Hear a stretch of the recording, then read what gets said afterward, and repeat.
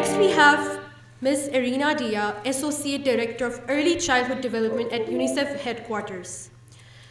She will be virtually talking about uh, nurturing for transforming lives, the power of early childhood development.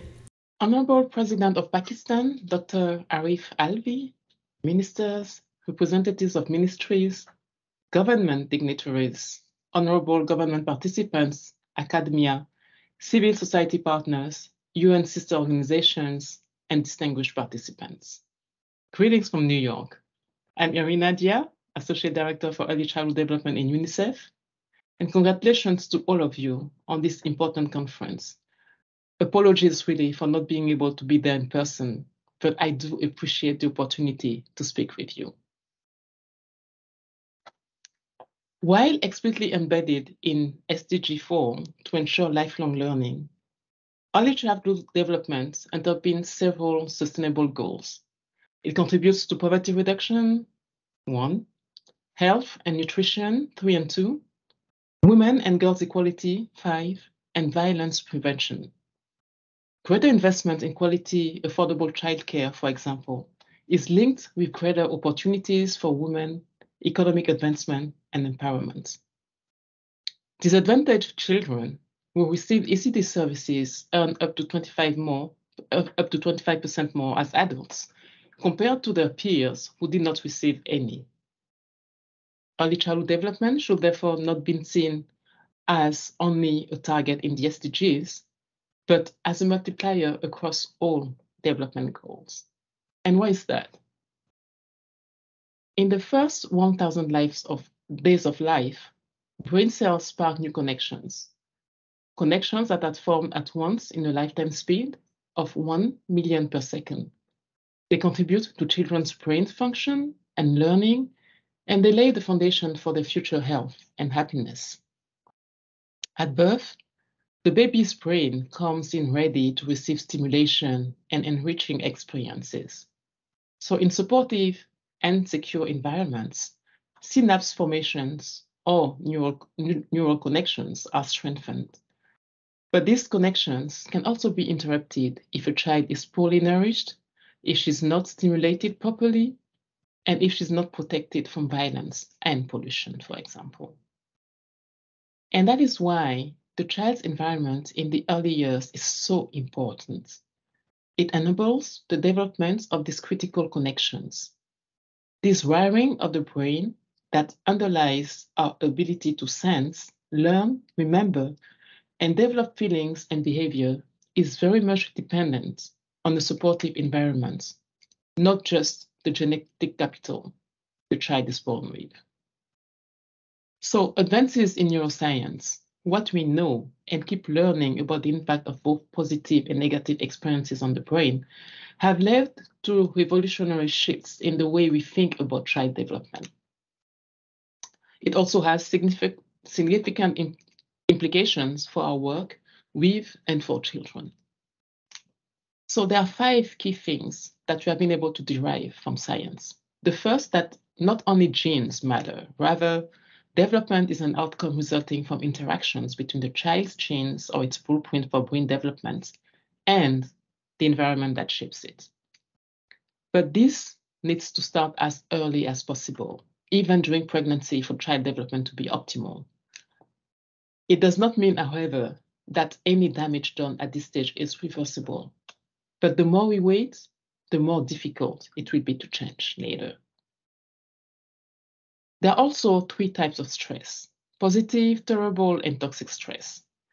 And while moderate and short-lived stress responses in the body can promote growth, toxic stress can have lasting negative impact.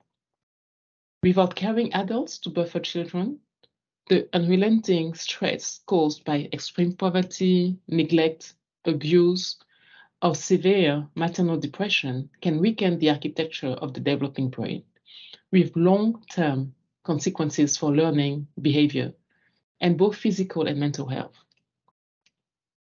The fourth message reminds us that the brain, unlike many of us, does not work in silos. All of its areas are interconnected they work at the same time and together. So when an area is stimulated, the others also get activated.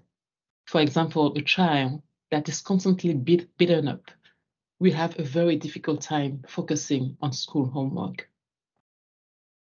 Now, nourishing the body, definitely, but the mind also needs its share of nourishment and stimulation. And evidence clearly indicates that maximum reduction of stunting occurs when nutrition and stimulation are delivered together.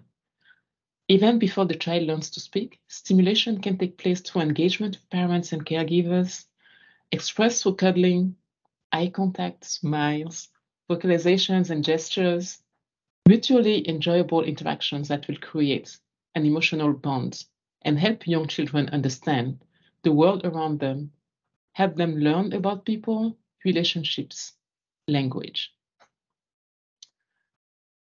But the importance of starting early is based on James Heckman's groundbreaking research, arguing that the best way to reduce deficits is to invest in quality early childhood development for disadvantaged children. Not only will it create better educational and health outcomes for the individual, but also greater social and economic outcomes in general to increase productivity and revenues and reduce social spending. So investment in birth to five early childhood programs for disadvantaged children have been seen to yield between 13 and as much as 16% return on investment per child per annum through better education, economic health, and social outcomes. But for this to happen, again, efforts should focus on the first years for greater efficiency and effectiveness because, as the graph shows clearly, the highest rate of return in early childhood development comes from investing as early as possible from birth to age five. Now, everything I've been talking about, the neuroscience and the evidence that was shared in the 2016 Lancet series that the foundation for lifelong health, productivity, and well-being is built in the early years, starting from pregnancy if possible, has informed what is commonly referred to as the nurturing care framework. In other words, what young children need to develop physically, mentally, and socially, what they need to survive, but also thrive. So what we say is that to reach their full potential, children need five interrelated and indivisible components. They need good health, they need adequate nutrition, they need safety and security, responsive caregiving, and opportunities for learning.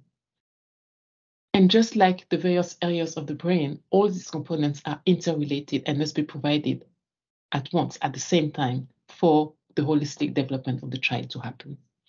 But how do we promote nurturing care?